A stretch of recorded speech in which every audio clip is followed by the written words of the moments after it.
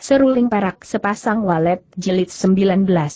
Ternyata yang muncul itu adalah Xiao bin Sanjin Limong Pai dan empat orang lainnya adalah si penghek.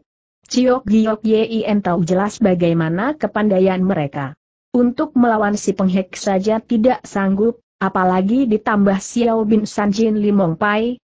Setelah mundur beberapa langkah, Ciok Giok Yin mengeraskan hatinya lalu berdiri tegak sambil menatap mereka berlima.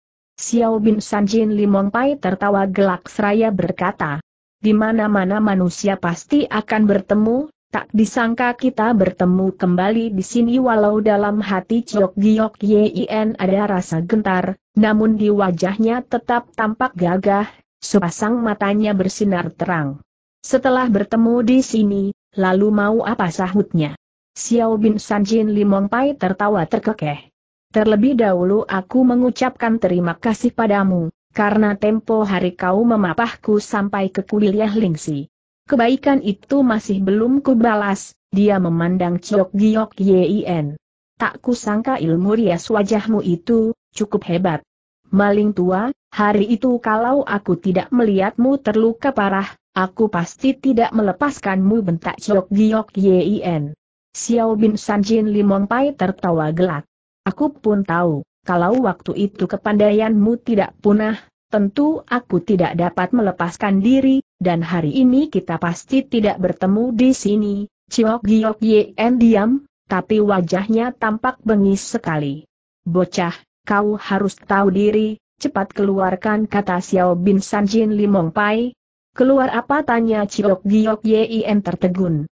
Kau jangan berpura-pura maling tua, bicara harus ada ujung pangkalnya, jelaskanlah benda dari Ciu Kiong Ciu Kiong tidak salah benda apa itu. Pokoknya serahkan benda itu, aku akan mengampuni nyawamu, jadi kau masih bisa balas dendam kelak. Sekarang juga aku akan menuntut balas dendamnya bocah, kau boleh coba sepasang metu Ciok Giok Yin membara, pertanda hawa amarah sudah memuncak. Dia berkertak gigi seraya membentak. Tua bangka, sambut seranganku. Laksana kilat Yok Giok Yin melancarkan ilmu pukulan Hang Lui Sam Chiang. Akan tetapi Xiao Bin Sanjin Limong Pai dan si penghek tertawa dingin dan mendengus. HMMM di saat bersamaan, mereka telah menghindari serangan Chok Giok Yin. Setelah menghindar, Xiao bin Sanjin Limong Pai juga menjulurkan tangannya untuk menyambar baju Ciok Giok Yin. Ciok Giok Yin menyimpan kitab cucian dan potongan kain di dalam bajunya, maka bagaimana mungkin dia membiarkan Xiao bin Sanjin Limong Pai menyambar bajunya? Maka dia langsung mencelat ke belakang, mengelak sambaran tangan Xiao bin Sanjin Limong Pai, Justru di saat ini si penghek berempat telah mendorongkan telapak tangan masing-masing ke arah Ciok Giok Yin. Dapat dibayangkan betapa dahsyatnya tenaga dorongan itu. Bahkan juga amat dingin sekali, sulit dilawan. Ciok Giok Yin terhuyung-huyung ke belakang beberapa langkah dengan badan menggigil kedinginan. Sedangkan Xiao bin Sanjin Limong Pai tidak menyia-nyiakan kesempatan itu. Dia langsung menjulurkan tangannya untuk mencengkeram lengan Ciok Giok Yen lalu tertawa gelak. Suara tawanya amat keras, menusuk telinga dan amat tak sedap didengar. Di saat bersamaan dia pun membentak. Bocah, kau, di saat lengannya hampir tercengkeram, mendadak badan Ciok Giok Yen terpental ke atas. Ternyata dia sudah terkena angin pukulan yang dilancarkan si penghek. Habislah serunya memilukan. Badannya melayang bagaikan layang-layang putus ke dalam jurang yang amat gelap. Di saat bersamaan terdengar suara seruan di tempat jauh. Adik, adik. Tampak sosok bayangan merah melayang turun di tempat itu. Siapa bayangan merah itu? Tidak lain adalah Heng Tian Cheng. Dengan sepasang metu berapi-api wanita itu membentak berbagaikan guntur. Kalian para penjahat, bayar nyawa adikku sembari membentak, dia pun menyerang si penghek. Mendadak Xiao bin Sanjin Limong Pai membentak. Berhenti si penghek segera berkelit, sedangkan Heng Tian Cheng masih dalam posisi menyerang. Sepasang matanya melotot, sehingga wajahnya yang amat buruk itu tampak menyeramkan. Heng Tian Cheng, apa hubunganmu dengan dia? Tanya Xiao bin Sanjin Limong Pai. Dia adalah adikku, maling tua. Cepat bayar nyawa adikku sahut Heng Tian Cheng. Sambil melancarkan sebuah pukulan ke arah Xiao bin Sanjin Limong Pai, perlu diketahui, dalam jiwa Heng Tian Cheng, Ciok Giok Yin merupakan orang yang tak boleh hilang. Kini Ciok Giok Yin terpukul jatuh ke dalam jurang oleh para anggota perkumpulan Seng Yen Hwee, bagaimana mungkin masih bisa hidup. Karena itu, Heng Tian Cheng menyerang Xiao bin Sanjin Limong Pai dengan sepenuh tenaga dan tampak nekat sekali. Xiao bin Sanjin Limong Pai tertawa dingin. Heng Tian Cheng, orang lain takut kau, tapi Lohu justru tidak usai berkata, dia pun menangkis pukulan Heng Tian Cheng. Perlu diketahui, Heng Tian Cheng merupakan wanita iblis dunia persilatan yang amat terkenal. Mengenai kepandaiannya, sudah pasti amat tinggi dan luar biasa. Setelah menangkis serangan itu, Xiao bin Sanjin Limong Pai terpaksa menyurut mundur karena Heng Tian Cheng menyerangnya dengan bertubi-tubi dan amat dahsyat. Sesungguhnya kepandaian Heng Tian Cheng masih lebih rendah setengah tingkat dari Xiao bin Sanjin Limong Pai. Namun saat ini Heng Tian Cheng sudah nekat sehingga membuat Xiao bin Sanjin Limong Pai terdesak mundur. Si penghek yang menyaksikan itu segera maju dengan serentak. Hei! Nenek Pot Buruk, kau harus mati bersama bocah itu bentak Hian Penghek. Si Penghek langsung menyerangnya. Walau Heng Tian Cheng berkepandaian tinggi, namun tetap tidak sanggup melawan mereka. Kini pakaiannya sudah berlumuran darah. Akan tetapi dia tetap berkertak gigi melawan mereka, sebab hatinya amat sakit melihat Chok Giok Yin terpukul jatuh ke dalam jurang. Mendadak terdengar suara jeritan. Ternyata Heng Tian Cheng terpukul jatuh di tanah. Waah darah segar tersembur dari mulutnya, namun cepat sekali dia telah meloncat bangun. Selama ini Heng Tian Cheng jarang bertemu lawan yang setimpal. Tapi kini keadaannya justru amat mengenaskan. Karena itu bagaimana dia tidak gusar? Aku akan mengadu nyawa dengan kalian bentaknya dengan suara gemetar sambil mencelat ke depan. Saat ini keadaannya sudah menyerupai hantu penasaran. Rambutnya awut-awutan, mulutnya berdarah dan pakaiannya juga sudah berlumuran darah. Kelihatannya Heng Tian Cheng akan binasa di tangan Xiao bin Sanjin Limong Pai dan si penghek. Namun mendadak terdengar suara siulan nyaring menembus angkasa lalu tampak sesosok bayangan melayang turun di tempat itu. Siapa orang yang baru muncul itu? Ternyata si bongkok arak. Begitu melihat orang tua bongkok itu, Xiao bin Sanjin Limong Pai dan si penghek segera bersiul kemudian melesat pergi. Bayar nyawa adikku bentak Heng Tian Cheng. Ketika dia baru mau melesat pergi mengejar mereka, si bongkok arak langsung mencegahnya. Hui Fang Fang, kau bilang apa tanyanya dengan suara dalam. Sepasang mata Heng Tian Cheng memerah. Aku bilang apa pun ada hubungan apa denganmu. Cepat minggir. Aku tidak bisa melepaskan mereka wanita itu segera mendorongkan sepasang telapak tangannya ke depan. Si bongkok arak mengibaskan tangannya, membuat Heng Tian Cheng terdorong ke belakang tiga langkah. Sedangkan si bongkok arak tetap menghadang di hadapannya. Hui Fang Fang, kau jelaskan dulu baru pergi katanya dingin. Heng Tian Cheng tahu bahwa dirinya bukan tandingan si bongkok arak, maka berdiri diam di tempat. Wah tiba-tiba mulut Heng Tian Cheng menyemburkan darah segar lagi. Kau terluka tanya si bongkok arak. Tidak salah, sebetulnya apa gerangan yang terjadi Ciok Giok Yin terpukul jatuh ke dalam jurang oleh mereka, hah? Sungguh seru si bongkok arak terkejut. Buat apa aku membohongimu? Kau jalan bersamanya tidak? Bagaimana kau tahu aku menyaksikannya? Si bongkok arak menghela nafas panjang lalu berkata dengan nada sedih. Habislah. Itu jurang maut. Kalaupun tidak mati, juga sulit keluar dari situ. Kelihatannya, dia menatap Heng Tian Cheng. Hui Fang Fang, kini dia telah mati. Seharusnya kau tidak usah merindukannya lagi, itu adalah urusanku jadi kau mau apa aku akan menuntut balas dendamnya, biar aku mati bersamanya mendengar itu, sekujur badan si bongkok arak menjadi merinding. Orang tua bongkok itu tidak menyangka bahwa Heng Tian Cheng begitu mencintai Chok Giok Yin. Akhirnya dia bergumam perlahan. Jodoh yang terlarang kau bilang apa tanya Heng Tian Cheng. Hui Fang Fang, tahukah kau dia keturunan siapa keturunan siapa keturunan, si bongkok arak menggeleng-gelengkan kepala. Dia sudah mati, percuma ku katakan, usai berkata begitu, si bongkok arak langsung melesat pergi. Sedangkan Heng Tian Cheng berjalan ke pinggir jurang itu. Sambil menangis terisak-isak. Sampai di pinggir jurang, dia memandang ke dalam. Air matanya tampak berderai-derai. Beberapa saat dia memandang ke dalam jurang, kemudian bergumam. Adik, kakak pasti membalas dendamu itu usai bergumam, dia lalu duduk di pinggir jurang dan memejamkan matanya untuk beristirahat sejenak. Tak terasa dua hari sudah berlalu, namun Heng Tian Cheng masih duduk di pinggir jurang itu. Kadang-kadang dia memandang ke bawah, berharap dapat melihat sesuatu di bawah jurang itu. Namun jurang itu amat dalam, sehingga dia tidak dapat melihat jelas. Kadang-kadang dia pun pasang kuping, mendengarkan dengan seksama, tapi juga tidak mendengar suara apa pun.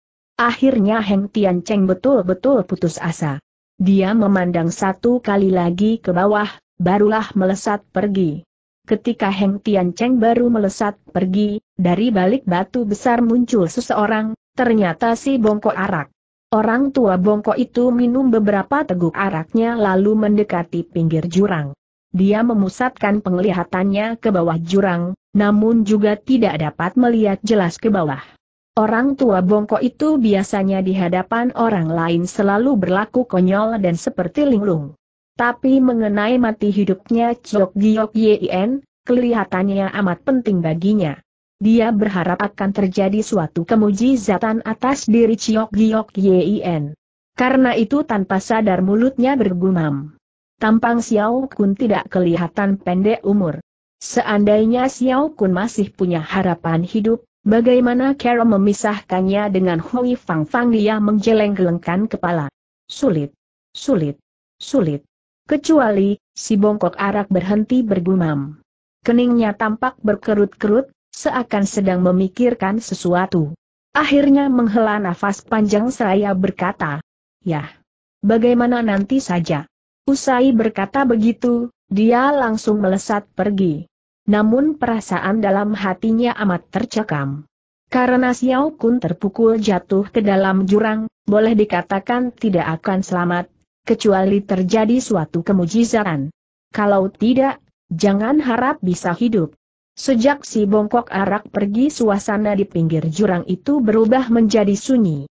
Kejadian tiga hari yang lalu meninggalkan sebuah sejarah di puncak gunung tersebut.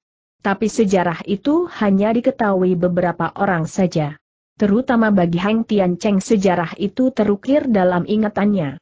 Padahal dia mendengar kabar dari dunia persilatan, bahwa Ciok Giok Yen dilukai seorang gadis misterius sehingga kepandaiannya punah.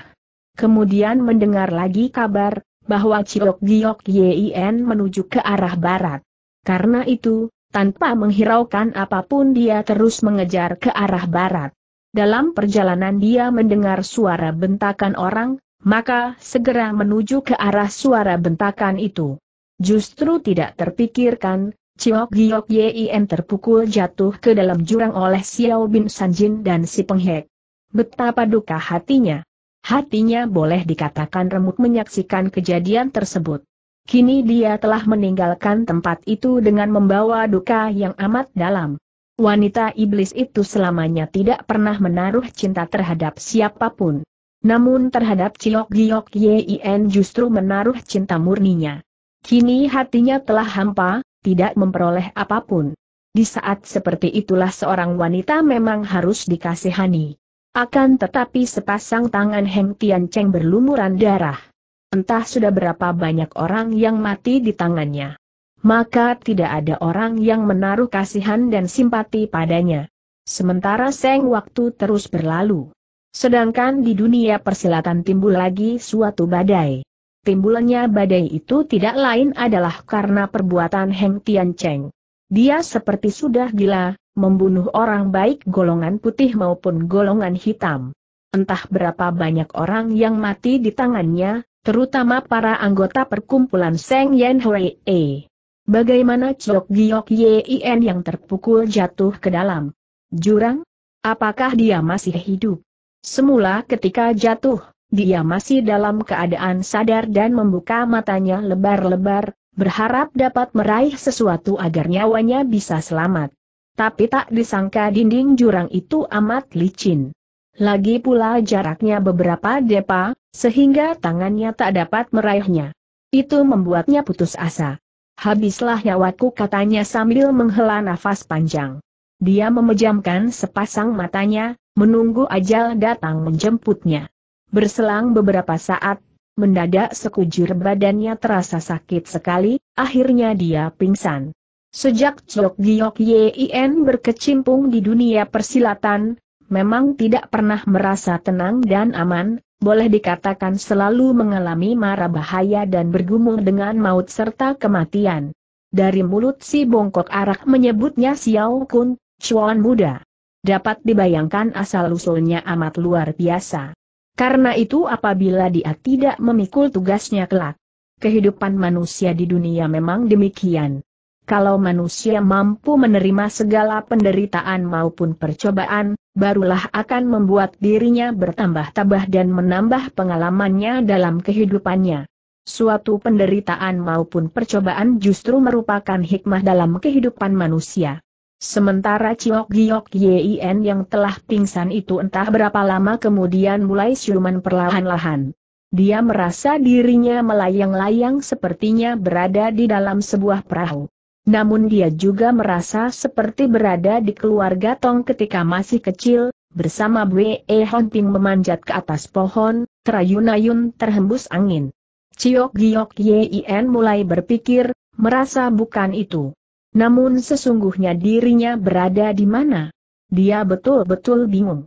Berselang beberapa saat, mendadak dia teringat akan suatu kejadian, yakni dirinya terpukul jatuh ke bawah jurang oleh Xiao bin Sanjin Limong Pai dan si penghek. Hatinya tersentak setelah teringat akan kejadian tersebut. Kemudian dia berkata dalam hati, Iya, aku sudah mati, karena rohku melayang-layang tiada tempat untuk berteduh. Kemudian dia berpikir lagi, semua budi dan dendam juga telah berakhir. Sampai di sini. Semua kenangan masa lalu maupun kejadian yang menimpa dirinya terus bermunculan di pelupuk matanya. Akan tetapi ada satu hal yang membuatnya amat berduka, yaitu walau sudah mati, tapi justru masih belum tahu sebetulnya dia keturunan siapa. Kalau begitu, tetap tidak bisa mencari kedua orang tuanya. Dia menghela nafas panjang, lalu membuka matanya perlahan-lahan. Sungguh di luar dugaan, ternyata dirinya terbaring di atas sebuah batu. Dia merasa heran, kemudian membalikan badannya ingin bangun. Akan tetapi mendadak dia merasa seluruh tulangnya seperti telah remuk. Aduh! Sakit sekali jeritnya. Di saat bersamaan, sekonyong-konyong terdengar suara yang telah dikenalnya. Kau sudah siuman Ciok Giok Yen segera membuka matanya lebar-lebar. Dilihatnya sosok bayangan wanita diselimuti kabut hijau. Itu membuatnya merinding. Bukankah aku sudah mati kau tidak mati, sahut bayangan itu. Hah? Aku dulu mati seru Ciok Giok Yin tak tertahan. Ya, tempat apa ini jurang maut, jurang mautnya, Lo Chiampoe yang menyelamatkanku. Tidak dapat dikatakan aku menyelamatkanmu, melainkan kau yang memang belum seharusnya mati, ucapan bayangan itu berhenti sejenak. Kaum rimba persilatan yang tahu jurang maut ini dapat dihitung dengan jari, juga tiada seorang pun yang dapat keluar masuk jurang ini, mendengar itu Chok Giok Yin menghela nafas panjang. Kalau begitu, tidak seharusnya Lo Chiampoe menyelamatkanku, katanya. Maksudmu kalau aku tidak dapat keluar dari jurang ini, berarti seumur hidup akan hidup di sini, jadi tiada artinya sama sekali, apa maksud ucapanmu itu maksudku, masih banyak urusan yang harus ku selesaikan, tentang ini kau tidak usah cemas, aku punya akal agar kau dapat keluar dari tempat ini, punya akal ya. Sekarang kau tidak usah banyak berpikir, karena badanmu belum pulih. Baik-baiklah beristirahat, tentunya punya jalan untuk keluar, Usai berkata, bayangan itu berkelebat dan dalam sekejap sudah hilang. Ciok Giok Yin tetap berbaring di atas batu. Dia menengok ke sana kemari, ternyata dirinya berada di dalam sebuah ruang batu. Kemudian dia memejamkan mata, mulai menghimpun hawa murninya. Kira-kira setengah hari, rasa sakit di badannya mulai berkurang. Ketika dia membuka mata, justru melihat sosok bayangan kehijau-hijauan berdiri di depannya. Begitu melihat Chok Giok Yin membuka mata, dia segera berkata, Mungkinkah sudah lapar, makanlah. Setelah itu himpun lagi hawa murnimu.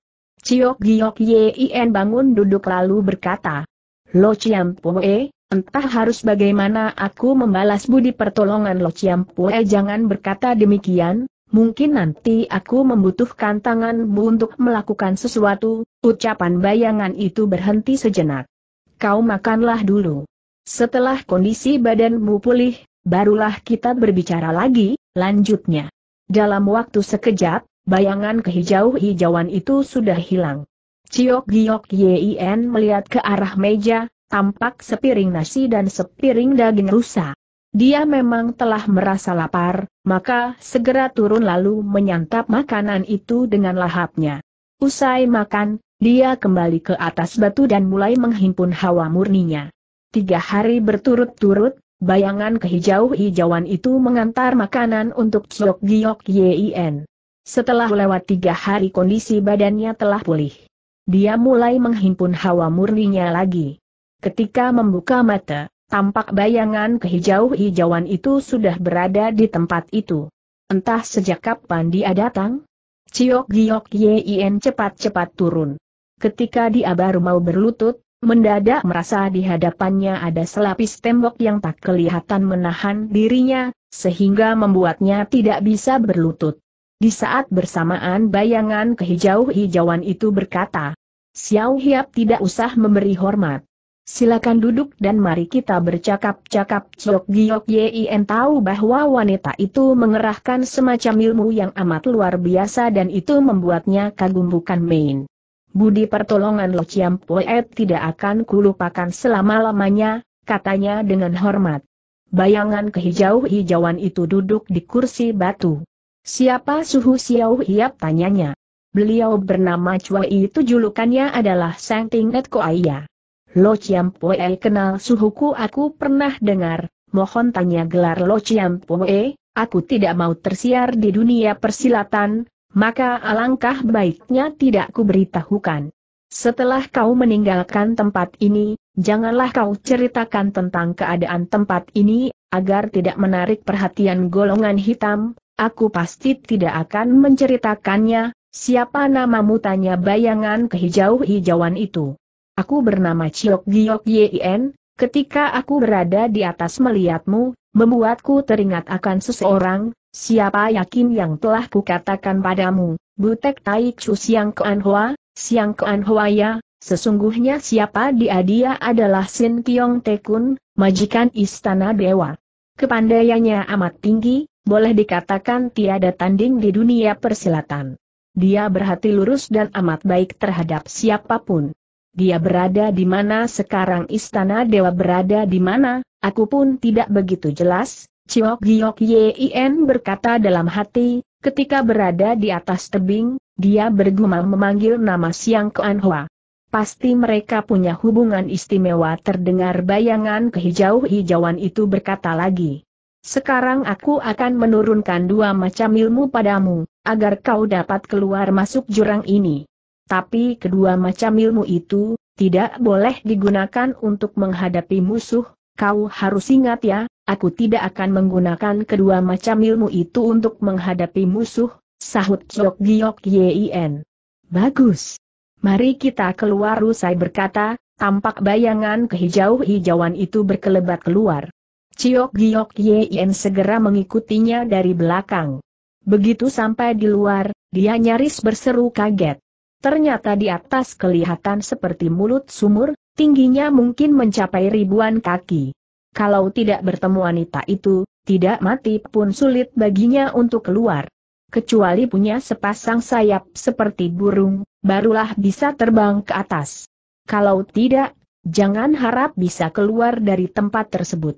Bayangan kehijau-hijauan itu berdiri di hadapan Ciok Giok Yin. Kedua macam ilmu itu disebut Hui Keng Po, ilmu langkah terbang. Perhatikanlah tampak bayangan kehijau-hijauan itu berkelebatan, mempertunjukkan Hui Keng Po tersebut. Ciok Giok Yin terbelalak, karena ilmu tersebut amat aneh dan luar biasa, penuh gerakan-gerakan tak terduga. Walau Ciok Giok Yin amat cerdas, namun untuk menguasai ilmu Hui Keng Po itu harus membutuhkan waktu tiga hari. Bagus, kau telah berhasil kata bayangan kehijau-hijauan itu. Ciok Giok Yin segera bertanya, Apakah Lo Poe masih ada petunjuk lain tanya Ciok Giok Yin. Bayangan kehijau-hijauan itu berpikir sejenak, setelah itu barulah menyaut. Kitab cucian yang berada di dalam bajumu, kuharap ditinggalkan di sini hati Ciok Giok Yin tersentak. Mengapa tanyanya tak tertahan? Kau tidak usah khawatir. Aku pikir berdasarkan kepandaianmu sekarang, kemungkinan besar kau tidak sanggup menjaga kitab itu. Aku harap setelah kau berhasil memperoleh seruling perak, datanglah kemari belajar ilmu itu, dan aku pun ada sedikit urusan membutuhkan bantuanmu. Apakah kau bersedia membantuku mendengar itu Ciok Giok Yin segera merogohkan tangan ke dalam bajunya. Kitab cucian tersebut masih berada di dalam bajunya. Dia berkata dalam hati, apakah dia juga ingin belajar ilmu gintai cucian, seruling perak kitab cucian mendadak bayangan kehijau-hijauan itu berkata, kau tidak usah banyak curiga. Aku hanya menghendakimu kemari satu kali lagi, sebab aku punya sedikit urusan membutuhkan bantuanmu. Tapi itu pun setelah kau menguasai ilmu tinggi, barulah dapat menyelesaikannya. Kalau tidak, akan menimbulkan musibah dalam rimba persilatan, setelah mendengar apa yang dikatakan bayangan kehijau-hijauan itu, wajah Ciok Giok Yin memerah seketika. Dia segera mengeluarkan kitab cucian itu seraya berkata, Kalau begitu, mohon Lo Poe baik-baik menyimpan kitab ini. Setelah aku berhasil memperoleh seruling perak, pasti segera kemari, bayangan kehijau-hijauan itu menerima kitab tersebut seraya berkata, Semoga kau berhasil tampak bayangan itu berkelebat, sudah masuk ke dalam ruang batu. Ciok Giok Yin bersiul panjang, kemudian tampak badannya mencelat ke atas. Ternyata dia telah menggunakan ilmu Hui Keng Po. Ilmu Hui Keng Po tersebut terdiri dari dua gerakan, yaitu gerakan terbang dan gerakan mendepak. Setelah badannya mencelat belasan depa, lalu kakinya mendepak dinding batu, seketika badannya meluncur ke atas seperti terbang dan cepatnya laksana kilat. Tak seberapa lama kemudian dia sudah sampai di atas tebing. Tanpa membuang waktu, dia langsung melesat pergi. Saat ini pakaian Ciok Giok Yin sudah tersobek sana-sini, boleh dikatakan menyerupai seorang pengemis. Akan tetapi wajahnya tetap tampan dan cerah. Sementara Seng Surya pun sudah mulai tenggelam ke ufuk barat. Sedangkan Chok Giok Yin telah memasuki sebuah kota kecil. Dia menundukkan kepalanya memandang pakaiannya, memang sudah tidak karuhan. Karena itu, dia membeli satu setel pakaian. Setelah berganti pakaian, dia langsung berubah seperti putra hartawan. Ciok Giok Yin bermalam di penginapan, keesokan paginya baru berangkat ke Gunung Liok Pansan kini dia harus cepat-cepat mencari Tiantong Lojin, untuk mengungkap rahasia potongan kain itu. Apabila tidak berhasil menemukan seruling perak, selama-lamanya dia tidak akan berhasil menuntut balas semua dendam itu.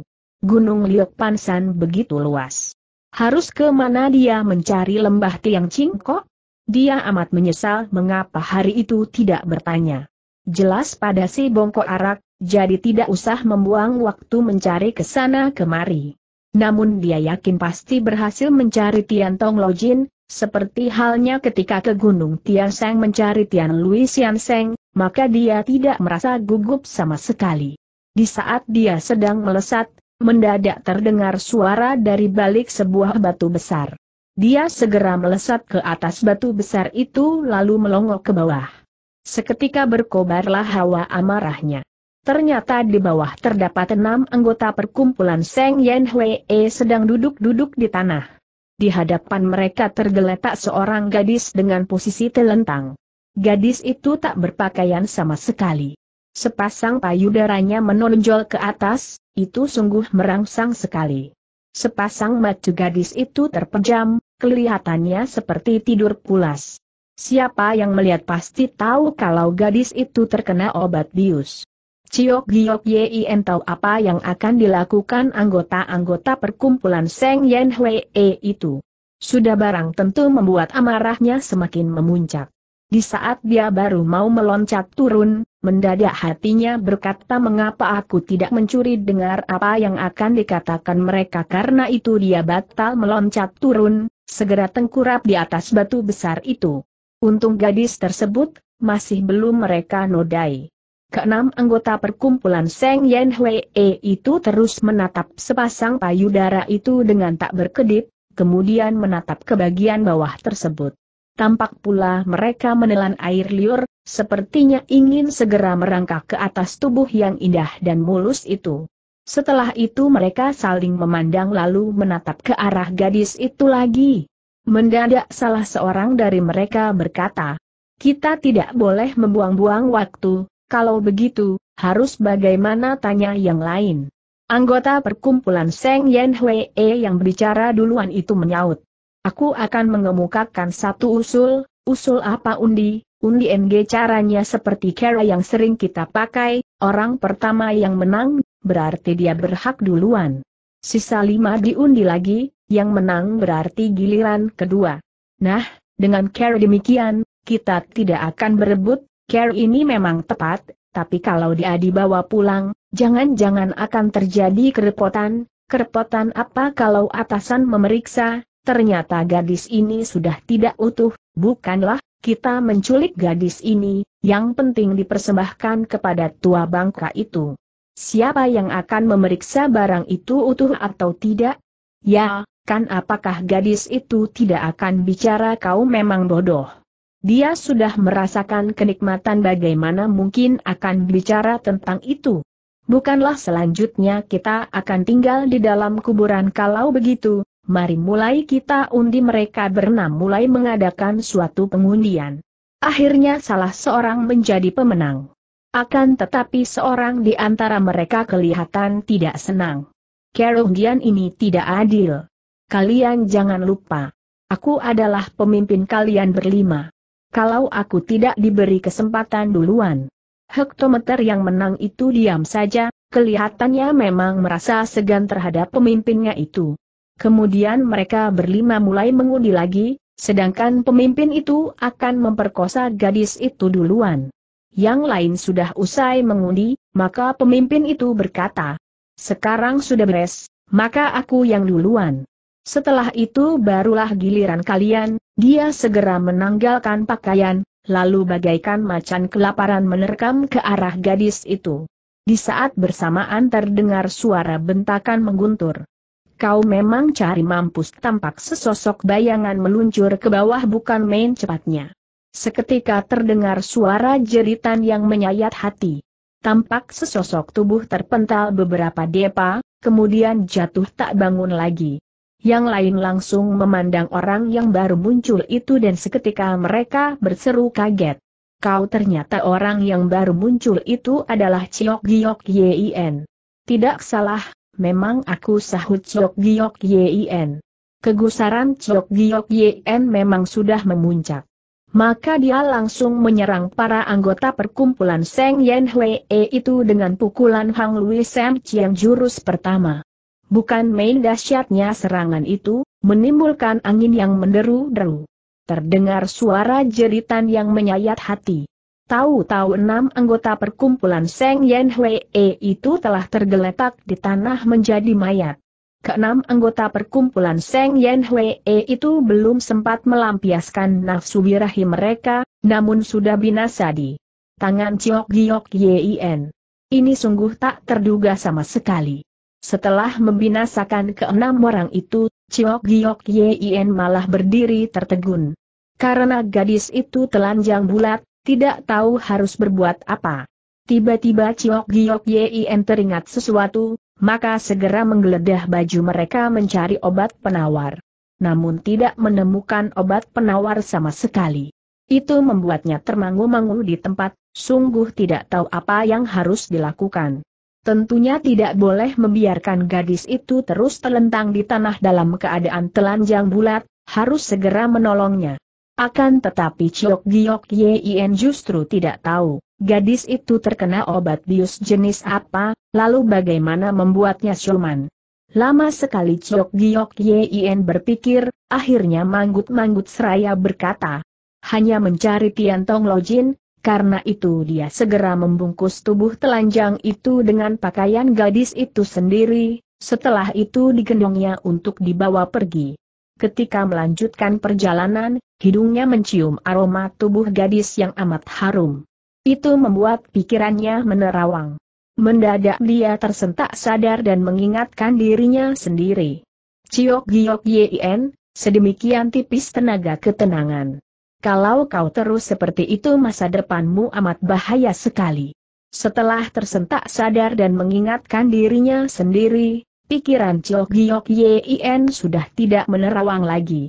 Namun dalam gendongannya adalah seorang gadis cantik, maka tidak mengherankan kalau hatinya tetap berdebar-debar.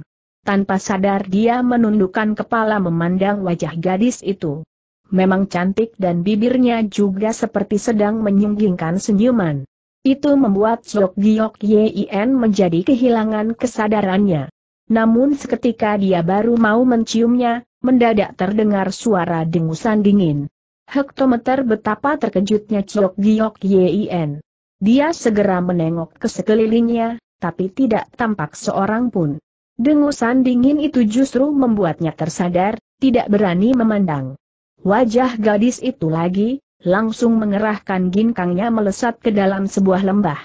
Setelah melesat ke dalam lembah, justru melihat dinding batu di sisi kiri dan kanan, warnanya kehijau-hijauan.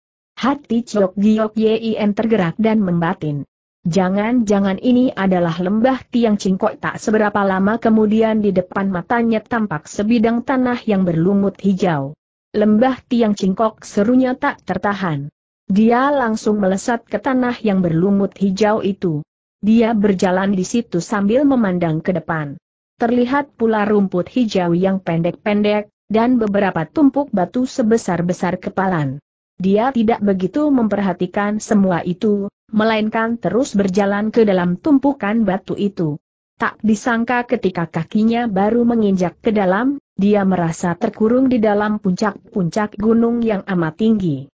Keadaan di tempat itu menjadi seperti di dalam jurang maut. Di saat bersamaan, dia segera mencelat ke atas, ke arah teling sebelah kiri. Di saat merosot turun dia terbelalak, ternyata di situ terdapat pohon-pohon besar. Dahan pohon bergerak-gerak terhembus angin, menimbulkan suara. Kreek, kreek, suara itu kedengaran amat menyeramkan sehingga membuat sekujur badan Chok Giok Yin menjadi merinding. Di saat bersamaan dia pun melihat banyak bayangan seperti roh halus bergentayangan di situ, menyebabkan matanya menjadi berkunang-kunang. Ciok Giok Yin bersyun menyaring. Seketika bayangan-bayangan roh halus itu sirna entah ke mana. Namun saat ini Ciok Giok Yin justru berada di dalam rimba yang dipenuhi pohon-pohon besar yang tak terhitung jumlahnya.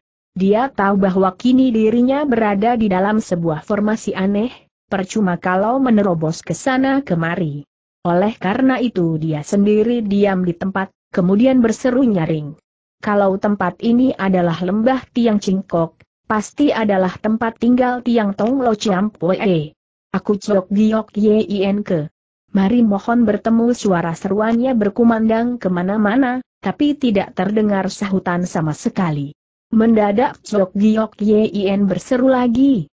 Kalau Lo Chiam Poe tidak ingin menemuiku, tidak jadi masalah.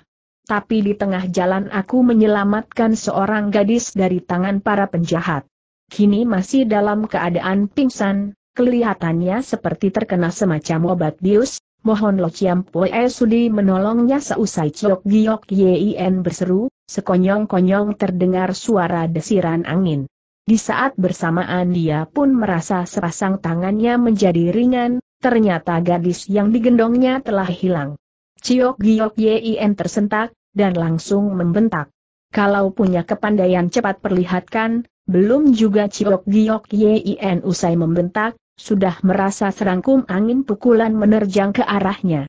Ciok Giok Yin mencelat ke belakang secara refleks, lalu memandang ke depan. Tampak sepasang matanya terbelalak, ternyata pemandangan tadi telah sirna.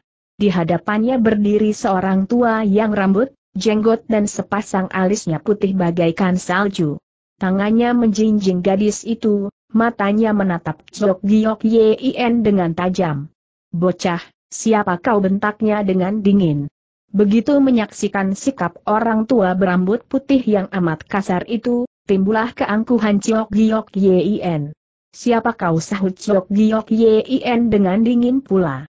Seketika sepasang mata orang tua berambut putih menyorot lebih tajam. Lohu bertanya padamu bentaknya lagi. Ciok Giok Yin telah lupa akan tujuannya ke tempat ini, sehingga bersikap lebih angkuh. Mengapa aku harus menjawab pertanyaanmu orang tua berambut putih mendengus? Hektometer. Bocah, Aku akan kembali baru menghajarmu usai berkata, orang tua itu melesat pergi. Ciok Giok Yen segera membentak. Berhenti akan tetapi, orang tua itu telah tidak kelihatan. Ciok Giok Yen memang bersifat keras dan angkuh. Seharusnya dia tidak boleh berlaku demikian kasar terhadap orang tua itu. Narnun dia justru tidak dapat memastikan orang tua itu Tiang Tong Lojin atau bukan, maka mengambil keputusan untuk bertarung dengannya. Oleh karena itu dia tetap berdiri di tempat, menunggu datangnya kembali orang tua berambut putih. Berselang beberapa saat kemudian, terdengar suara siulan yang amat nyaring, lalu tampak sesosok bayangan berkelebat. Dalam sekejap bayangan itu sudah berada kira-kira satu dipa di hadapan Chok Giok Yin. Siapa bayangan itu? tidak lain adalah orang tua berambut putih. Bocah, dari mana kau membawa gadis itu kemari bentaknya sambil menatap Chok Giok Yin dengan tajam. Apa hubunganmu dengan dia Chok Giok Yin balik bertanya. Dia adalah putriku mohon tanya Lo Chiam Poe adalah Tiang Tong Lo Jin tidak salah aku Chok Giok Yin. Aku tidak bertanya namamu, yang kutanyakan adalah dari mana kau membawa putriku kemari? Bagaimana dia tidak berpakaian sama sekali?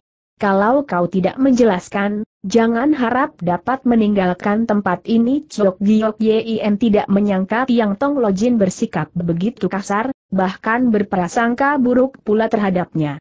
Namun demi membersihkan dirinya, dia menekan hawa gusarnya. Putri Lo Chiam Poe ditangkap oleh beberapa anggota perkumpulan Seng Yen Hwee, sahutnya. Perkumpulan Seng Yen Hui e tanya Tiang Tong Lo Jin tak tertahan. Tidak salah, dengarlah dulu Chok Giok Yin segera menutur tentang kejadian itu. Ketika para penjahat itu ingin menodai Putri Lo Chiam Pue, kebetulan aku melewati tempat itu, kemudian kubunuh mereka berenam. Tapi Putri Lo Chiam Pue masih dalam keadaan tak sadarkan diri. Sedangkan aku tidak tahu dia terkena obat bius jenis apa, maka aku membawanya kemari. Salahkah aku menyelamatkannya siapa bilang kau salah? Sekarang kau harus bagaimana membereskannya bentak Tiang Tong Lojin. Perkataan Tiang Tong Lojin yang tiada ujung pangkalnya itu membuat Chok Giok Yin tertegun. Aku tentu kau ada urusan apa dengan diriku bocah, kau masih berani berpura-pura di hadapan Lohu. Ciok Giok Yin betul-betul kewalahan menghadapi Tiang Tong Lo Jin yang bicara tak pakai aturan itu. Harap Lo Chiam Pue memberi penjelasan sahutnya dingin. Aku bertanya lagi, dalam hal hubungan apa lelaki boleh melihat tubuh seorang gadis sulit dikatakan. Gadis kecil ketika mandi, sudah barang tentu kedua orang tuanya akan melihat, belum usai Ciok Giok Yin berkata, wajah Tiang Tong Lo Jin sudah tampak gusar. Aku tidak bertanya tentang hubungan orang tua dengan anak bentaknya sengit. Ciok Giok Yin tertegun. Dia memang kurang pengalaman, maka tidak tahu akan maksud Tiang Tong Lojin. Kalau begitu, apakah hubungan suami istri Tiang Tong Lojin mengangguk itu baru betul dia tampak berpikir sejenak. Putriku bernama Tung Yun, sekarang kujodohkan denganmu. Kau mau bilang apa lagi Ciok Giok Yin terbelalak. Sambil menyurut mundur tiga langkah dia menyahut dengan perlahan-lahan. Ini, ini mana boleh mengapa aku menyelamatkannya, tidak bermaksud menerima imbalan apa pun, kau telah melihat tubuhnya. Aku melihat tubuhnya, itu belum tentu harus memperistrinya, kau tidak mau, kau harus mau mendengar itu, gusarlah Chok Giok Yin. Mana ada perjodohan yang dipaksa katanya lantang. Tiang Tong Lojin maju tiga langkah seraya membentak. Kau berani menolak Chok Giok Yin tidak menyangka akan terjadi hal tersebut, maka dia menyahut lantang. Tidak mau bocah, Sungguh besarnya limu Tiang Tong Lojin maju selangkah lagi. Lohu bertanya padamu, siapa berani menjamin bahwa bukan kau yang melakukan itu? Hektometer. Kau sengaja menangkapnya, lalu membawanya kemari seakan menaruh budi padaku Cok Giok Yin tertegun dituduh berbuat seperti itu.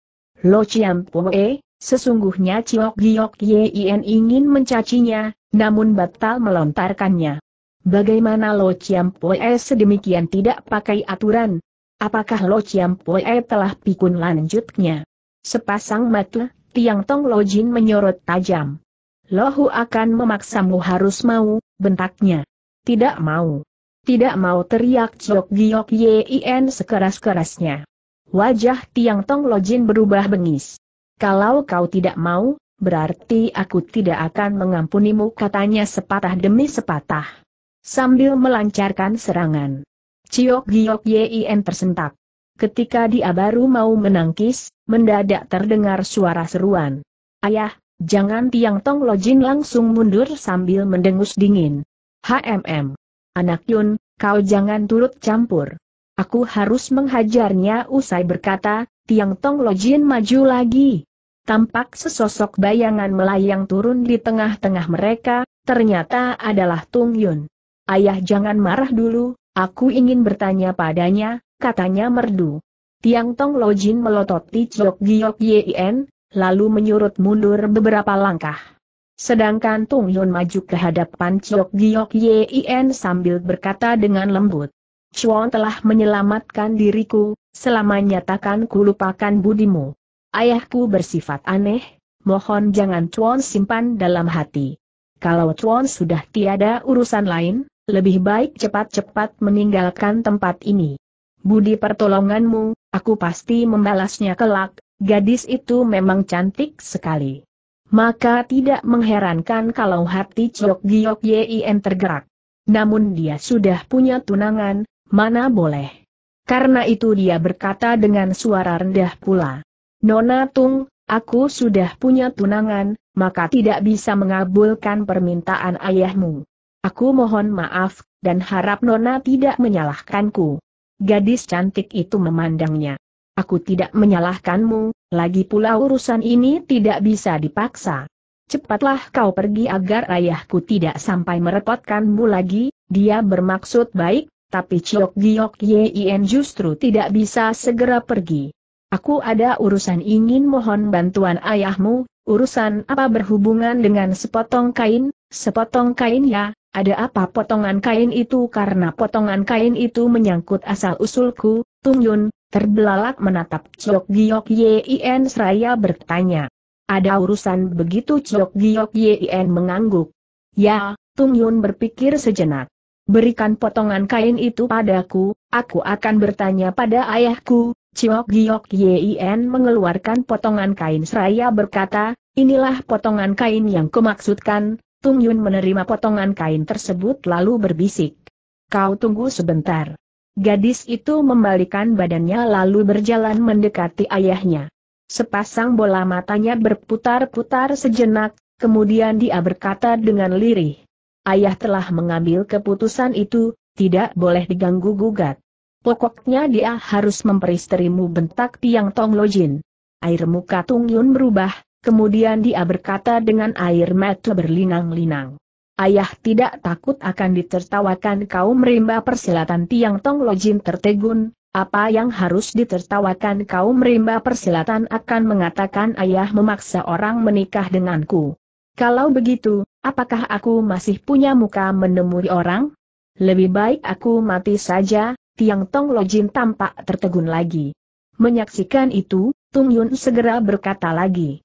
Dia bermaksud baik, lagi pula dia telah menyelamatkan diriku dari tangan para penjahat.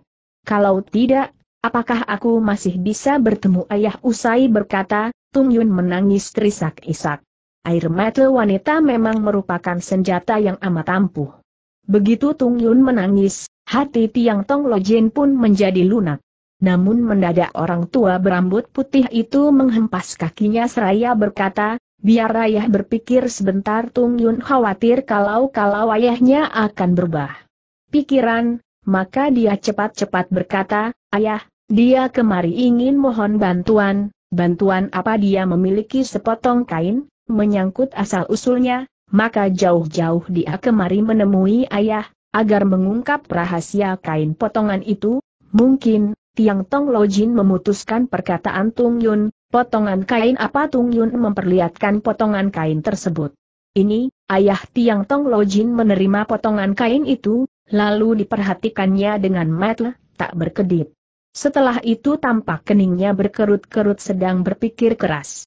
Saat ini, dia sudah tidak memikirkan urusan putrinya, karena perhatiannya tercurah pada potongan kain itu. Kelihatannya dia amat tertarik. Ciok Giok Yen yang melihat dari jauh hatinya berdebar-debar tegang. Tak diragukan lagi Tiang Tong Lojin juga mengalami kesulitan memecahkan rahasia potongan kain itu. Apabila orang tua berambut putih itu tidak dapat mengungkap rahasia potongan kain tersebut, berarti selamanya tak dapat diungkapkan.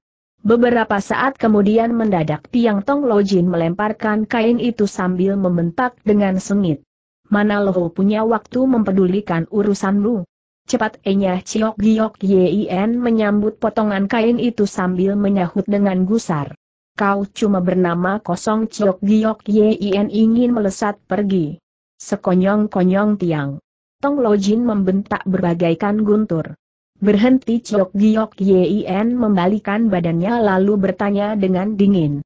Masih ada urusan apa Tiang Tong Lojin tertawa gelak seraya berkata, seandainya lohu bernama kosong, lihat siapa yang sanggup mengungkapnya, aku pasti dapat menemukan orang yang mampu mengungkap rahasian potongan kain ini sahut Chok Giok Yin.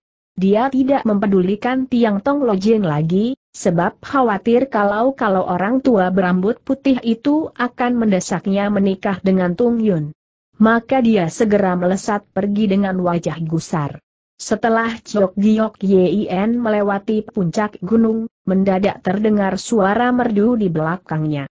Tunggu sebentar, Chuan Ciok Giok Yin segera berhenti sekaligus membalikan badannya. Tampak Tung Yun sedang melesat ke arahnya. Ginkang gadis itu cukup tinggi, sehingga dalam sekejap sudah berada di hadapan Ciok Giok Yin. Nona ada petunjuk apa tanya Ciok Giok Yin dingin. Tung Yun menatapnya sejenak, kemudian berkata dengan perlahan-lahan. Ayahku bersikap kasar padamu, aku sungguh merasa tidak enak itu tidak apa-apa. Nona kemari hanya karena urusan itu? Bukan, lalu karena urusan apa potongan kain itu, Ciok Giok Yin tertegun. Memangnya kenapa potongan kain itu kau harus memperoleh Bukeng Sui, air tanpa akar, Bukeng Sui ya, apa yang disebut Bukeng Sui mungkin potongan kain itu harus direndam dalam air tanpa akar itu, barulah dapat diketahui rahasianya, sampai jumpa Tung Yun segera melesat pergi. Terima kasih atas petunjuk Nona seru Ciok Giok Yin dengan lantang. Usai berseru, dia justru berdiri termangu-mangu tidak menyangka sama sekali, potongan kain tersebut berhubungan pula dengan air tanpa akar. Ini sungguh merupakan hal aneh. Memang banyak hal aneh di dunia persilatan, sulit untuk diduga. Ciok Giok Yin terus berpikir. Asal usulnya diketahui Tiong Chiu Sin Ie, mengapa tidak mau memberitahukan dari dulu? Sebelum meninggal, kakek tua itu cuma berpesan agar Chok Giok Yin pergi ke Gunung Chong Lam San mencari Ken Haiet Kiam. namun Kan Hai Kian justru dibunuh oleh orang yang menyamar sebagai dirinya. Kemudian muncul Cheo Kiong, akhirnya Cheo Kiong mati di tangan Xiao Sin Sanjin Limong Pai, cuma meninggalkan potongan tersebut. Sedangkan potongan kain itu harus direndam dengan air tanpa akar, lalu harus mencari ke mana Bukeng Sui itu. Kalau Bukeng Sui itu kepunyaan orang lain, bagaimana mungkin orang itu akan memberikannya? Ciok Giok Yin yakin bahwa Bukeng Sui merupakan benda pusaka, tidak gampang memperolehnya. Lama sekali Ciok Giok Yin berpikir, akhirnya Dila membanting kakinya seraya berkata sengit. Bagaimana nanti saja kemudian dia melesat pergi dalam perjalanan dia terus berpikir mana yang harus dituju. Mendadak timbul suatu niat dalam hatinya, ternyata dia ingin menuju kuil Lingsi yang pernah didatangi oleh Xiao bin Sanjin Limong Pai. Kini apa salahnya pergi ke kuil itu melihat-lihat, lalu berangkat ke Gunung Kijiao San tempat markas Tai Kek Bun untuk menengok Sehyong Yang, tunangannya biar bagaimanapun harus mencari suatu tempat untuk tempat tinggalnya, tidak bisa selamanya menumpang di rumah orang. Seusai berpikir demikian, barulah Chok Giok Yin melesat pergi laksana kilat, menuju kuil Lingsi. Hari sudah mulai gelap, namun kuil tersebut sudah berada di depan. Suasana di sekitar kuil itu sunyi senyap, tidak terdengar suara orang. Ciok Giok Yen khawatir kalau-kalau di depan kuil terdapat anggota perkumpulan Seng Yen Hwee, maka dengan waspada dia mengerahkan ginkangnya untuk meloncati tembok lalu melesat ke dalam kuil itu. Dari ruang dalam hingga beberapa kamar, sama sekali tidak menemukan seorang pun, bahkan kelihatannya kuil itu tidak pernah dihuni orang. Ciok Giok Yen mengerutkan kening berpikir, Mungkin kuil ini merupakan tempat pijakan sementara bagi Xiao bin Sanjin Limong Pai tempo hari. Setelah berpikir demikian, dia pun ingin. Mendadak terdengar suara yang amat lirih, dengar-dengar waktu hari raya malam itu, suara lirih itu berasal dari ruangan depan. Ciok Giok Yen segera melesat ke ruangan itu, namun sudah tidak terdengar apa-apa lagi. Beberapa saat kemudian terdengar suara lirik itu berkata, kita di sini melakukan sesuatu yang menyenangkan tanpa diketahui siapa pun, mengapa tidak boleh? Yang penting jangan menyia-nyiakan kesempatan ini, terdengar suara bentakan nyaring, yaitu suara seorang gadis. Kalian semua memang kodok buduk yang ingin makan daging angsa. Dasar tak tahu diri terdengar suara lelaki. Toaya hari ini memang ingin menikmati tubuhmu, Ciok Giok Yin sudah mendengar jelas dari mana asal suara, ternyata berada di bawah lantai. Apakah di bawah lantai terdapat ruang rahasia? Mendadak terdengar suara plak kemudian terdengar pula suara jeritan, yang disusul oleh suara rintihan. Jelas sama-sama terluka. Mendadak Chok Giok Yin melihat di dinding ruangan itu terdapat sebuah titik hitam yang mencurigakan. Dia segera mendekati dinding itu kemudian menekan titik hitam tersebut. Di saat bersamaan terdengar suara kereek. Ternyata bagian lantai di ruangan itu terbuka sedikit, namun di dalam agak gelap. Ciok Giok Yin mengerahkan WE Kangnya lalu melongok ke dalam. Sebelum dia melihat jelas, sekonyong-konyong dari dalam melesat keluar sosok bayangan, ternyata seorang anggota perkumpulan Seng Yen Hwee, karena bajunya bersulam sepasang burung walet. Ketika melihat Chok Giok Yen, anggota perkumpulan Seng Yen Hwee itu tampak tertegun. Bocah, siapa kau bentaknya? Ciok Giok Yen, anggota perkumpulan Seng Yen Hwee itu berseru tak tertahan. Apa, Omong kosong rupanya dia telah mendengar tentang Ciok Giok Yin yang terpukul ke dalam jurang maut. Di saat dia berseru kaget, terlihat lagi dua anggota perkumpulan Seng Yen Hui melesat keluar dari bawah lantai. Ciok Giok Yin amat mendendam terhadap para anggota perkumpulan Seng Yen Hui maka dia langsung menyerang ketiga orang itu dengan totokan mematikan. Terdengar suara jeritan, ketiga orang itu telah tertotok, roboh tak bisa bangun lagi. Setelah membinasakan ketiga orang itu, Ciok Giok Yen segera meloncat ke dalam lantai yang terbuka itu. Ketika sepasang kakinya menginjak dasar, mendadak terdengar suara rintihan dari sebuah ruang batu dan tampak pula cahaya menyorot keluar. Ciok Giok Yen bergerak cepat melesat ke dalam ruang batu itu dan terbelalak begitu masuk ke dalam. Ternyata di lantai ruang batu itu tergeletak sosok mayat. Bajunya bersulam sepasang burung walet telah berlumuran darah, bahkan kepala mayat itu pun telah hancur. Tentunya mayat itu anggota perkumpulan Seng Yen Hui E. Di sudut ruang batu itu juga tergeletak seorang wanita berpakaian hitam. Mulutnya mengeluarkan suara rintihan, pertanda dia telah terluka parah. Dia tergeletak menghadap ke dalam, maka Chok Giok Yen tidak dapat melihat wajahnya. Ciok Giok Yen mendekati wanita itu dan begitu melihat seketika juga berseru kaget kau sungguh di luar dugaan, ternyata Chok Giok Yen pernah bertemu wanita berpakaian hitam ini di kuil Ong Blio. Pada waktu itu gadis tersebut juga dalam keadaan terluka. Tak disangka wanita berpakaian hitam ini adalah anggota perkumpulan Seng Yen Hui e juga. Ketika Chok Giok Yen berseru kaget, Wanita berpakaian hitam itu terkejut oleh seruannya dan segera memandang ke arah Ciok Giok Yen. Sepasang matanya tampak suram. Kau, serunya lemah. Dia tidak tahu nama Ciok Giok Yen, karena ketika bertemu, dia tidak menanyakan namanya. Ciok Giok Yen mendengus. Hektometer. Memang aku, tak terduga kan tiba-tiba wanita berpakaian hitam itu membuka mulut.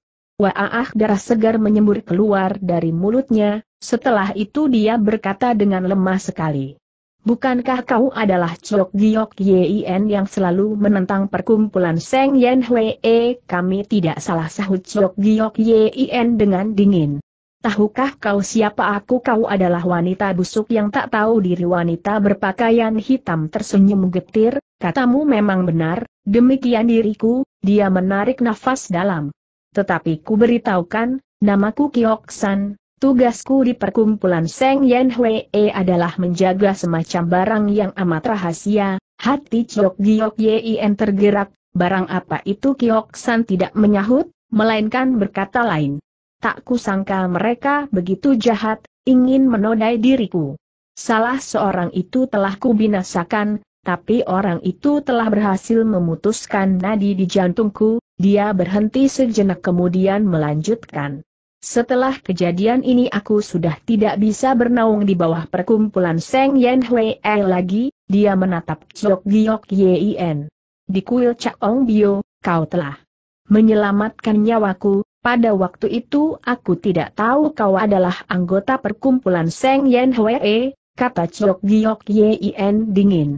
Kalau tahu aku pasti akan menambah satu pukulan lagi untukmu, sekarang masih belum terlambat, terus terang, aku tidak akan mengampuni setiap anggota perkumpulan Seng Yen Hwee, mendadak mulut Kiok San menyemburkan darah segar lagi, setelah itu dia berkata lirih. Sekarang kau boleh turun tangan, aku akan menunggu kau pulih dulu bentak Chok Giok Yen. Kemudian dia menatap Kiok San tajam. Katakan, barang apa yang kau jaga itu akan tetapi Kiok San tidak menyahut, melainkan memejamkan matanya, kelihatannya seperti sudah mati. Hati Chok Giok Yen tersentak kemudian berkata dalam hati, aku tidak boleh membiarkannya mati, harus tanya dia menjaga barang apa, Chok Giok Yen segera duduk lalu memegang tangan wanita berpakaian hitam. Tangan wanita itu dirasakannya amat dingin, namun di tenggorokannya masih terdapat sedikit nafas. Karena itu dia segera menghimpun hawa murninya lalu disalurkan ke dalam tubuh Kioksan berselang beberapa saat kemudian, nafas Kioksan mulai lemah, sepasang matanya tetap tertutup rapat. Ciok Giok Yen segera menyalurkan hawa murninya lagi ke dalam tubuh Kioksan dan tak seberapa lama kemudian sepasang metu Kioksan terbuka perlahan-lahan. Bibirnya bergerak-gerak beberapa kali, akhirnya terlontar juga beberapa kata. Mengapa, kau, membuatku, siuman Ciok Giok Yen tahu ajal Kiok San hampir tiba, maka dia berkata lembut. kau menjaga suatu barang penting perkumpulan Seng Yen Hui E. Seandainya kau ingin berbuat baik terhadap dunia persilatan dan meninggalkan nama harum, bukanlah lebih baik kau serahkan barang itu padaku tiba-tiba dia teringat sesuatu, maka segera bertanya, sebetulnya ada apa waktu hari raya di malam itu? Tadi aku mendengar pembicaraan mereka, Kiok San balik bertanya dengan suara lemah seakan bergumam. Apakah, aku, harus, mengatakannya kau harus mengatakannya padaku. Aku tahu pada dasarnya kau berhati baik. Cuma kau terpengaruh sehingga terjerumus ke dalam perkumpulan itu, Ciok Giok Yin menatapnya, demi meninggalkan nama harumu, kau harus mengatakannya padaku, kening Kiok San tampak berkerut-kerut, kelihatannya seperti serba salah. Akan tetapi akhirnya dia berkata, Baik, Ku beritahukan, padamu, Ciok Giok Yin segera memegang tangannya seraya berkata, katakanlah mendadak tampak air mata Kiok San meleleh. Ciok Giok Yin cepat-cepat menghapus air matanya, apakah hari ini, tanggal, tanya Kiok San tersendat-sendat. Hari ini tanggal 2 bulan 5, sahut Ciok Giok Yin. Kalau, begitu, masih, ada, tiga, hari, maksudmu di, di dalam, bajuku, terdapat, selembar, daftar, nama, tolong, ambilkan Chok Giok Yin segera merogohkan tangannya ke dalam baju Kiok San untuk mengeluarkan selembar kertas. Terdengar suara Kiok San semakin lemah. Tepatnya, tanggal 5, bulan 5, turun, tangan, di tengah, malam, membunuh, para ketua, partai, agar, mereka, menyerah, pada, perkumpulan. Seng, Yen, bibir Kiok San sudah tidak bergerak, ternyata wanita berpakaian hitam itu telah meninggal. Sedangkan Chok Giok Yen terkejut bukan main mendengar itu. Dia cepat-cepat memaparkan kertas itu, ternyata di dalamnya tercantum nama delapan partai besar dunia persilatan. Apabila perkumpulan Seng Yen Hui berhasil membunuh para ketua partai tersebut, bukankah dunia persilatan akan dikuasai perkumpulan Sang Yan Hui? Kini cuma tinggal tiga hari, kalau hanya dirinya sendiri yang pergi memberitahukan kepada para ketua partai itu, tentunya akan terlambat. Karena itu dia tidak mau membuang-buang waktu, segera melesat ke arah Gunung Chong Lam San mendadak ada tiga sosok bayangan melayang turun.